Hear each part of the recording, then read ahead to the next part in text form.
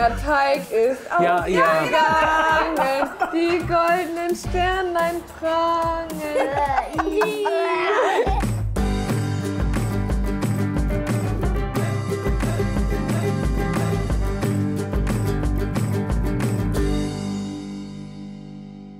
Wir sind hier heute in Volkensinn im Backhusfrühen äh, Haus, im Backhaus. Und äh, das ist direkt beim Klimansland um die Ecke, das haben wir entdeckt. Das ist nämlich ziemlich cool. Wir haben hier nämlich so einen richtig coolen Steinofen.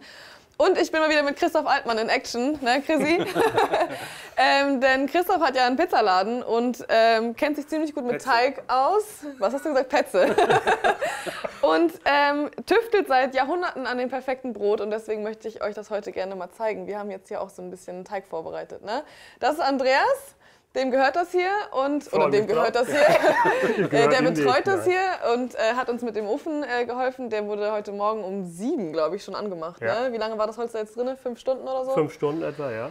Und jetzt im Moment hat er noch so 430 Grad oder was haben wir gerade gesagt? Korrekt, ja. Das ist natürlich schon echt richtig heiß. Äh, so heiß müsste es für uns nicht sein, deswegen ist das Holz da jetzt schon äh, raus.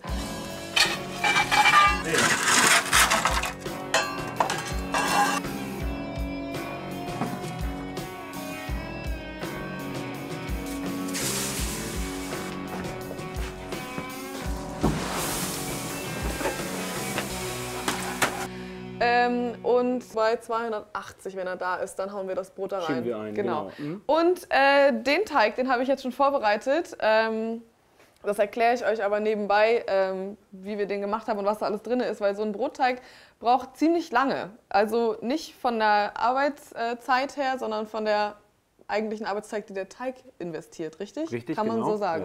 Ja. Ruhephasen. Ruhephasen, genau, schlafen. Die Schönheitsschlaf. wir alle gerne brauchen. Ähm, dann legen wir los, oder? Ja, richtig. Wir machen Wir erstmal ein bisschen Mehl auf die Arbeitsfläche, würde ich Ja, sagen. genau. Macht am meisten Sinn. Dann können wir den drauf stürzen, würde ich sagen. Genau, das hier sind so äh, Gärkörbe, heißen die, ne? Ja. Die bestehen aus, was ist denn das für ein Material? Äh, Rattan, Rattan? Pettichrohr. Pettichrohr? Ja. Das sind alles Oder was ist So, das? ja, so Ja, sowas, ne? Rattan? Haben wir, dann holen wir ihn erstmal raus. Ja, hol mal damit Hol mal raus. raus, das Babe. Das ist jetzt Teig für so ungefähr acht Brotlaibe. Wir ähm, stellen euch aber ein, Teig, ein Teigrezept zur Verfügung für ein wir Ne? Und wenn ihr dann mehrere machen wollt, müsst ihr die Menge halt dementsprechend anpassen. Schon mal.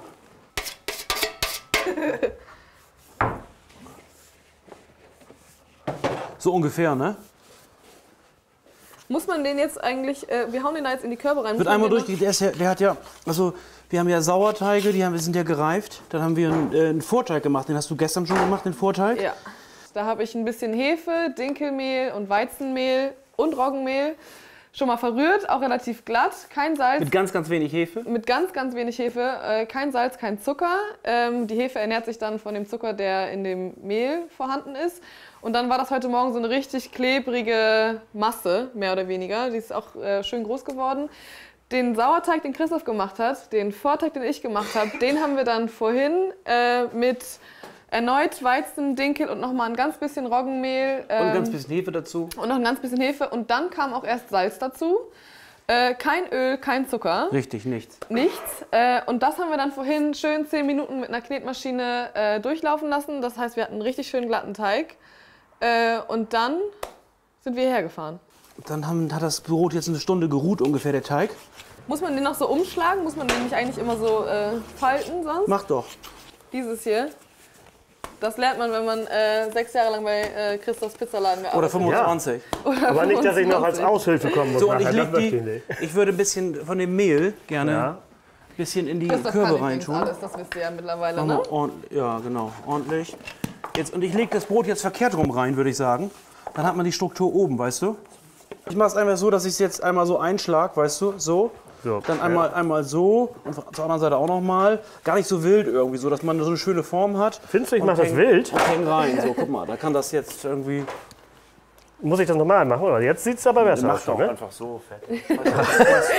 Ach so. Nein, stell ich noch nicht so Also das heißt, wenn ihr hier Brot backt, dann kriegt ihr den Teig fertig oder du bist einfach immer nur am Ofen und kommst mit dem Teig gar nicht in Berührung Nein, oder wir können, äh, den Brotteig kriegen wir fertig und den äh, Butterkuchenteig So, selber.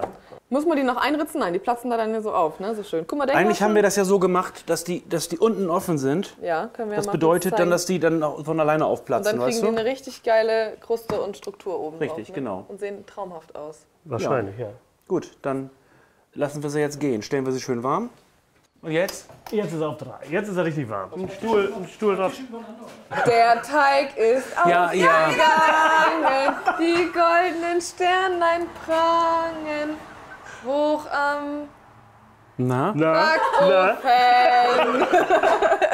Okay, jetzt? unsere Teige, was? Ja, Sind wunderbar aufgegangen, wie ihr seht. Wir haben sie ganz vorsichtig jetzt hier raufgestellt. Wie lange ist das jetzt ungefähr her? Eine Stunde, anderthalb, ne? Ähm, der Ofen, es gibt hier, wir haben hier so ein cooles Thermometer. Und das hat jetzt 286,7 ja du musst mal ein bisschen Grad. weiter da hinten, da wird es ja ja mal. Es variiert. Wir sagen mal um die 280 Grad. Also eine Temperatur, die man fast mit seinem Backofen zu Hause auch erreichen kann, oder? Dann rein damit. Ja. Los geht's. Ich kipp das jetzt ganz vorsichtig einfach darauf, oder was? Einmal umdrehen, ne? Ja, so rum. Genau.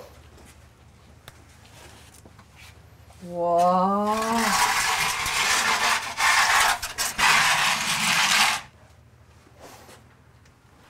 Oder?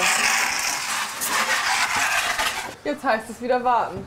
Halbe Stunde ungefähr haben wir gesagt. Ne? Wir müssen zwischendurch mal Ja, wir reingucken. gucken zwischendurch. Tschüss.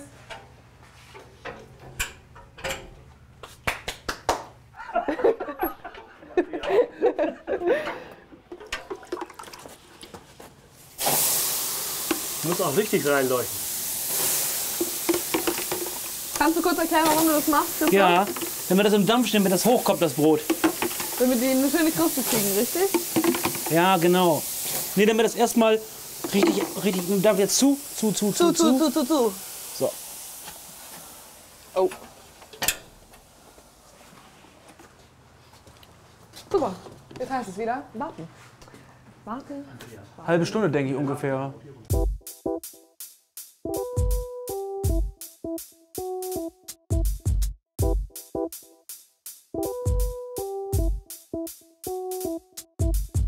Erste vielleicht mal eben erstmal anschneiden, gucken, wie das, wie das aussieht, so ein Ding.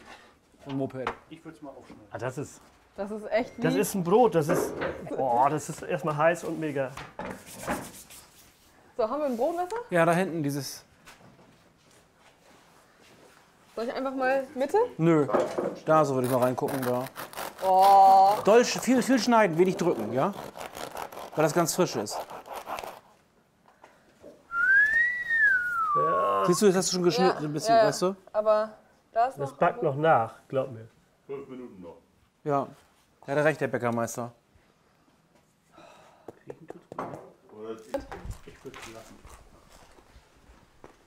Das lassen wir so.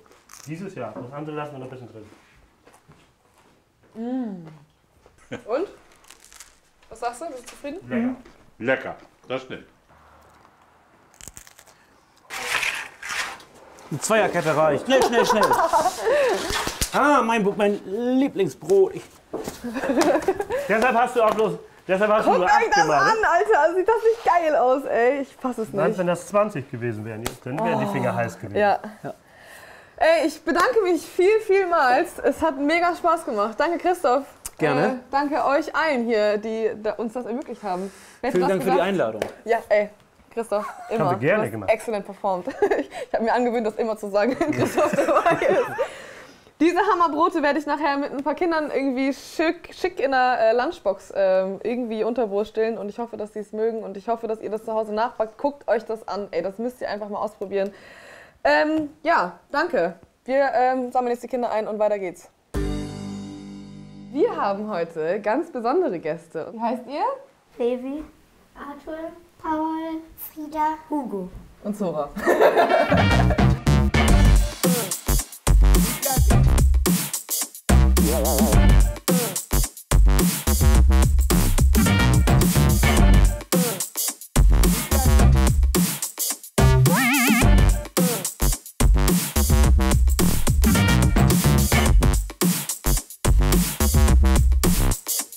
Und wir machen heute äh, eine Lunchbox. Was esst ihr dann immer so in der Schule überhaupt? Brötchen. Brötchen. Vom Bäcker oder von zu Hause? Vom Bäcker. Aber letztes Mal haben wir äh, selbst gemacht. Habt ihr schon mal hier geguckt, was wir für Zutaten haben? Ja. Und? Ist euch, mögt ihr davon irgendwas gar nicht? Mm, Lasst mich raten. Die Zucchini. mögt ihr alle nicht? Ja. Okay, wir machen nämlich Pizzawaffeln und da kommt die Zucchini rein. Das heißt, ihr seht und schmeckt sie nachher hoffentlich nicht mehr. Nein! Also wir machen Pizzawaffeln, Müsli-Riegel und eine Schokocreme. Und zwar machen wir die Schokocreme aus Datteln. Das ist sowas hier. Kennt ihr das? Ja. Schön süß, ne? Ich habe es noch nie probiert. Dann kannst du gleich mal probieren. und äh, dann habe ich Brot gebacken. Das hier. Dann können wir uns das so ein bisschen belegen und dann machen wir das da in diese Brotboxen rein. Ja? Womit wollen wir anfangen? Mit der Schokocreme. Ja. ja. Okay, das ist eine sehr klebrige Angelegenheit. Wir müssen jetzt erstmal bei den Datteln hier ähm, den Stein rausholen. Da ist nämlich hier so ein kleiner, wenn man den aufmacht. So. Da ein Stein drin. Und der muss einmal raus. Können wir erstmal anfangen zu poolen. Auf einen Teller kommen die fertigen, auf den anderen die Steine. Dafür haben wir hier noch ein paar geröstete, geröstete, geröstete Haselnüsse. Geht's? Ist eklig? Ja. Hast du mal probiert? Nee. Oh. Aber die Schokocreme nachher probierst du trotzdem, oder? Hoffentlich. Oh mein Gott, ich bin ein bisschen aufgeregt heute. Aufgeregter als sonst. Hier habe ich ein bisschen flüssiges Kokosfett, das ist für die Streichfähigkeit zuständig. Da mache ich da schon mal ein bisschen was von rein. Wie läuft's? Gut.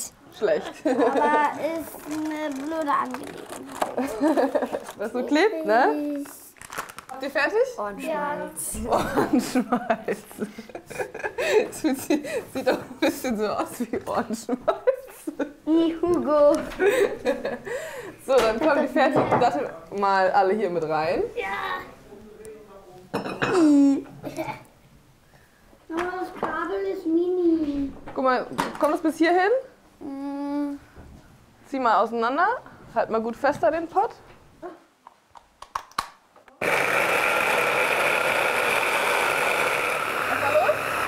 Das an einem vorbeischwebt. Das sieht aber schon ganz gut aus. So, will mal jemand anders? Ich. Ich. So, einmal da. Wo? Ja, wo? Da darfst du einmal drücken.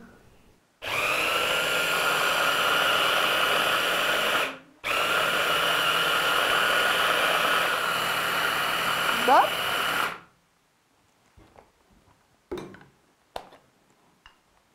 Das aus. Lecker. Wollen wir es mal probieren? Das ist eigentlich ganz gut. Das Brot? Ah, ja, schon mal Glück gehabt.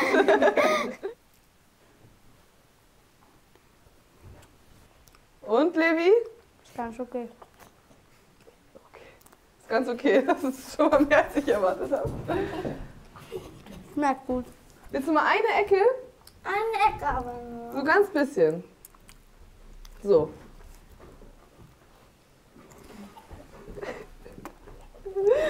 Alle warten gespannt voll.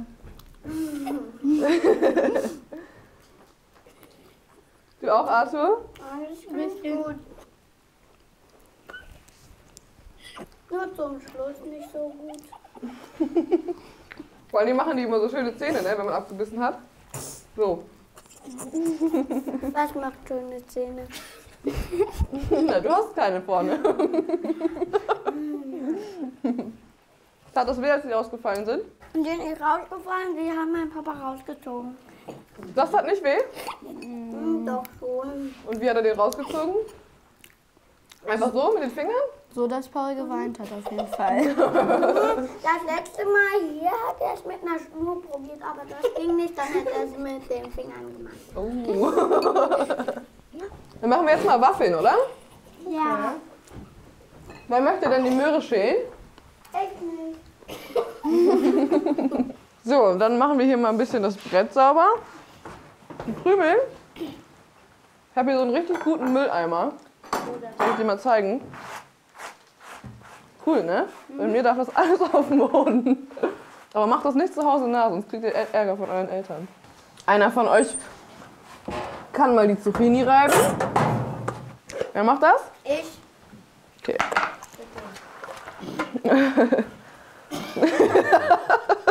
Sieht ein bisschen aus wie Gurke. Magst du Gurke? Hm, nicht so richtig. Was mögt ihr denn richtig gerne? Gurke. Süßigkeiten. Ja, das habe ich mir gedacht. Apfel. Echt? Oh, yes. Möchtest du hier mal zwei Eier reinschlagen? Bitte schön. Mach hier zu Hause, bist du öfter mal mit deiner Mama in der Küche? Ja. ich hab's aufgefallen. Hier, kannst du mir die Hände abtrocknen? Levi, willst du mal mit den Zutaten hier rüberkommen? Mit allen. Fertig. Cool, dann müssen wir die gleich auch noch einmal kurz reiben. Ups. Das mache ich dann aber nicht. Warte, ich schmeiß mal erstmal an hier die Möhre. Es landet nicht alles im Korb. Das ist okay. Warte, erstmal die Eier schlagen. Jetzt kannst du mal die Buttermilch da reinmachen. Sehr gut. Muss ich immer noch? Bisschen noch. Soll ich mal eben den Rest machen? Ja. Soll ich wieder höher stellen? Ja. Auf? Drei. Und das kann da auch noch mit rein. Guck mal, da ist so ein Löffel. Der goldene. Wie wenig. Wenig. So, die Möhre. Kann ich die mal Ja, klar. auch mit der Seite? Ja. Arthur, ich habe gehört, du warst mit deinen Eltern schon mal auf der Jagd. Ja, Arthur? Ja, was habt ihr gejagt? Also meine Mutter hat sich die, hat eigentlich mit nur angeguckt. Und du? Und mein Vater hat ein Wildschwein geschossen. Ein Wildschwein? Puh, hast du das gesehen? Ja. Und habt ihr das auch fertig gemacht danach? Nee, Also- mein Opa. Dein Opa. Was macht der Teig? Also Arthur, du warst dabei, wie dein Papa ein Wildschwein gejagt hat. Ja. War das nicht total krass? Hast du das Wildschwein auch gesehen, als es tot war? Ja. Uh, und auch als es auseinandergenommen wurde? Ja. Und hast du es auch gegessen? Nein. Nein? Magst du kein Wildschwein? Ja. Aber Pizza mögt ihr alle, ne? Ja. Und Waffeln auch? Ja. Und Pizzawaffeln? Ja. ja. Ich noch nie probiert. Könnt ihr nochmal das ähm, runter machen, was da auf dem Brett ist? Auf dem Boden. Nee. das nicht, das kommt hier noch alles mit rein. Habt ihr schon mal Waffeln gebacken? Bestimmt, ne? Wer hat das nicht gemacht? Noch mehr. Ja. Sieht nicht aus wie eine Waffel. Ups. So, und jetzt kannst du es mal verteilen. Noch mehr. Jetzt reicht Nee, das nein, reicht. jetzt Das so wie Käse. Was ist denn euer Lieblingshobby? Was macht ihr immer so? Fußball. Fußball. Fußball. Reisen? Fußball. Fußball, Fußball. Hockey, Fußball. Fußball. Und du fährst auch Formel 1 oder sowas, ne? Also, Ja, aber er ist bei den 100 Besten dabei. Was? Ja. Also. Erklär mal, ist so ein, so ein kleines Formel 1 Auto oder was? So ein Rennauto? Ja. Also das ist Formel ADAC. Und wie schnell fährst du da so ungefähr? Schnell. Ja. Cool. Und das macht bestimmt auch Spaß, ne? Ja. Und was darfst du, Frieda? Reiten Ja. und malen Ja. und backen vielleicht auch? Ja. Das habe ich nämlich früher auch immer am liebsten gemacht. Mach mal nochmal auf. Oh, ich glaube, die ist fertig. Wollen wir mal rausholen? Mach mal den Deckel ganz auf, einfach. So. Bisschen heiß. So. Guck mal, wir können hier schon mal dafür anfangen, äh, die Müsli-Riegel zu machen. Und zwar brauchen wir dafür wieder das Gerät. Und dann habe ich hier sowas. Das sieht für euch bestimmt auch wieder total eklig aus. Lecker. Ne? Ih, das sind getrocknete Aprikosen. Dann habe ich hier getrocknete Pflaumen. Und ein paar Cranberries. I. I, I, I. Ein paar sagen lecker, das ist ja schon mal gut. Die machen wir jetzt alle hier rein. Und jetzt müssen wir die erstmal wieder häckseln. Und jetzt darfst du da mal raufdrücken. Ah! Können die alle ganz laut schreien! So, das kommt jetzt hier in die Schale rein. Kannst du mal hier reinmachen? Ganz schön viel Kleinzeug. Ja, ne? Aber Müsli-Riegel mögt ihr bestimmt auch, oder? Oder nicht? Hä, Müsli-Riegel? Mögt- Mag man doch, oder? Ja. Ja. Wenn da sowas drin ist, Das dann ist- eher nicht, ne? Fertig. Schokolade drauf machen. Ja. Dann machen wir hier noch so ein bisschen was Gepopptes rein, damit das ein bisschen... Darf ich auch? Mhm. Wollt ihr mal probieren? Ja. Einfach mal reingreifen? Ein Korn. Schmeckt ein bisschen wie Cornflakes. Das ist gepoppter Quinoa. Gar nichts. Das ist schon mal gut. Das ist besser, als wenn es nicht schmeckt. Nicht alles rein. Ne, ein bisschen noch. Bisschen mehr noch. Bisschen mehr noch. noch ein bisschen mehr. Ganz ruhig ein bisschen mehr. ja, so ist gut. Von den Haferflocken kannst Doch, von den Haferflocken brauchen wir echt alle. Und dann drehst du um. Lecker. So. Dann kommt das noch da rein. Das sind gemahlene Haselnüsse. Ja, Kann ich das machen? ja. Kann ich das machen? Du kannst die machen. Alles? Ja, Kann ich das machen? das kannst du machen, ja. Kriegst du es auch? Nicht alles, nur ein bisschen. Mögt ihr Kokos? Nein. Na gut, dann nur ein bisschen. Ja, das reicht, wenn ihr nicht so gerne Kokos mögt.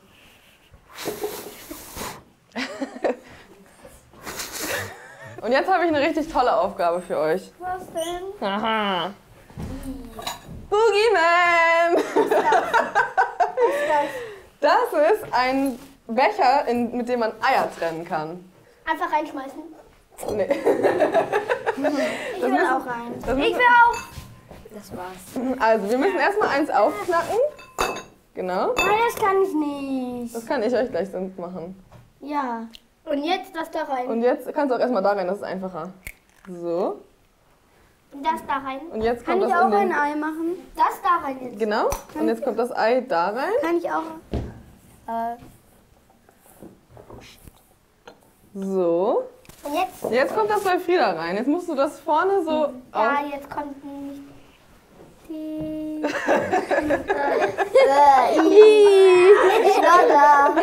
Schnodder. Muss mal ein bisschen schütteln. Der ist ein bisschen erkältet, der Junge. Auch mal.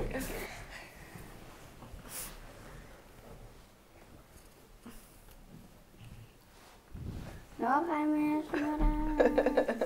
Riesenschnodder. Sieht das bei euch auch so aus, wenn ihr erkältet Bei seid? Paul ja, bei mir nein. Kleine Petze. Paul und Levi sind übrigens Brüder. Das merkt man vielleicht hier und da. Wie alt seid ihr? Äh, zehn. Neun. Neun. Wie alt bist du? Sechs. Und du? Hier, Levi, kannst du mal Backpapier reinmachen? Ja. Kannst du ein bisschen abschneiden? Ich nehme dir mal die Schnatternase ab. Okay, das ist eine für Rechtshänder, ich bin Linkshänder. Oh, dann muss Ich schneide vielleicht das. Mal. Tada. Das kommt da jetzt rein. Auf das Backpapier. Jo. das ein. Oh.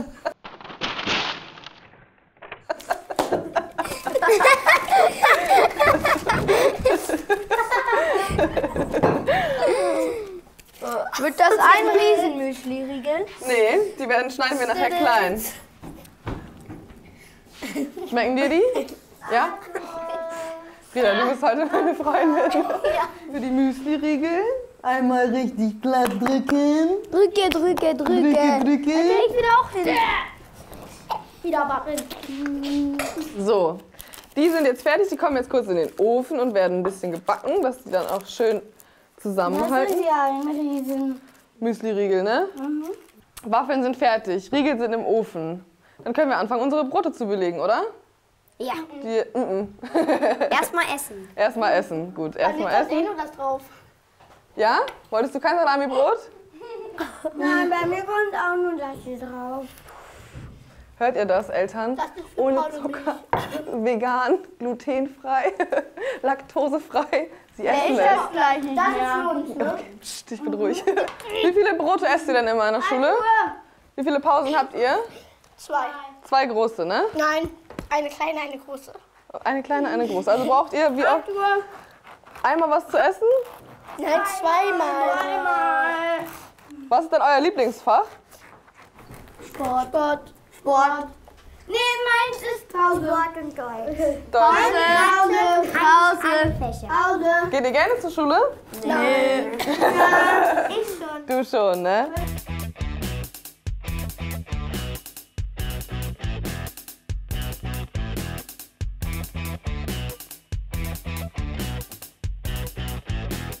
Das ist übrigens auch ein Trick, den ich bei meiner, in meiner Au-pair-Zeit gelernt habe. Da hatte ich, auf- habe ich drei kleine Kinder gehabt, auf die ich aufgepasst habe. Und dann immer so, ja, Zora, wir haben voll Hunger. Dann meinte ich, ja, was wollt ihr denn? Apfel oder Banane? Nee, wir wollen Pizza. Und dann habe ich immer einfach, ohne zu fragen, irgendwo einen Teller mit Obst und Gemüse hingestellt und zehn Minuten später alles leer. Was ist denn, magst du irgendein Gemüse, Paul? Ja, ich mag Paprika und ich mag halt auch noch Birne. Willst du Paprika mitnehmen? Ich habe Paprika da. Nee. Guck mal, kannst du dir eigentlich auch so wie Levi die Gurke hat, ein bisschen Paprika mitnehmen, oder? Okay, aber ich stopfe mir sie hier ran, Okay. weil ich will nur ein bisschen mitnehmen. Und das Ding kriege ich nicht so gut auf. Guck mal so. Noch jemand Paprika? Ich, ich. Fändet ihr das cool, wenn ihr eure Pausenbrote selber machen könntet? Wenn ich immer dann so süße Sachen drauf machen kann, ja. So, also hier haben wir jetzt die Müsli-Riegel. Machen wir jetzt mal hier so ein bisschen Schokolade drüber. Wollt ihr da noch irgendwas drauf machen? Nüsse oder. Nee. Nee. Ja, Schokolade. Schoko will ich da noch drauf machen. Schoko auf die Schoko. Weiße Lake. Ich mache nur eine Hälfte mit. Weiße Lake. So. Und für mich mache ich da noch ein bisschen Pistazie drauf. Hier, Ich probier mal. Na gut. Hier? Darf ich? Ich auch. Kann man essen? Ja. Davon werdet ihr aber satt, oder Levi? Hast aber gut vollgepackt, du. Ja. Aber wenn man viel Fußball spielt, muss man auch viel essen, ne? Hat es euch Spaß gemacht? Ja. ja. Yes! Ähm, mir hat es auch Spaß gemacht. Und ähm, Und das, wie gesagt, und das Essen hat lecker geschmeckt.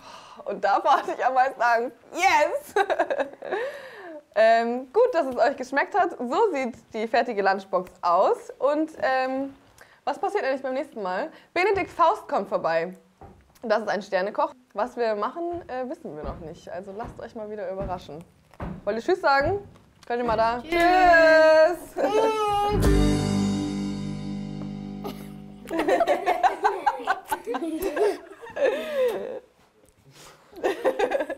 Einmal, einmal. so, fertig. Ich mach noch nicht